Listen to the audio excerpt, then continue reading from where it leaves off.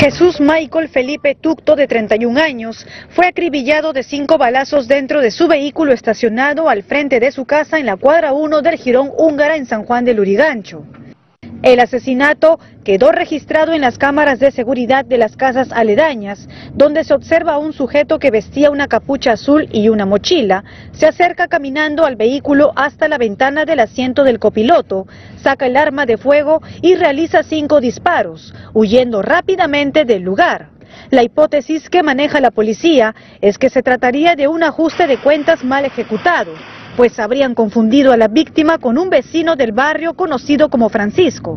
Los familiares protagonizaron escenas de dolor y evitaron brindar declaraciones a la prensa por temor a represalias. A este lugar llegaron peritos de criminalística y agentes de la comisaría de Zárate para trasladar el cuerpo a la morgue central de Lima e iniciar las diligencias correspondientes, mientras el vehículo fue llevado a la comisaría del sector.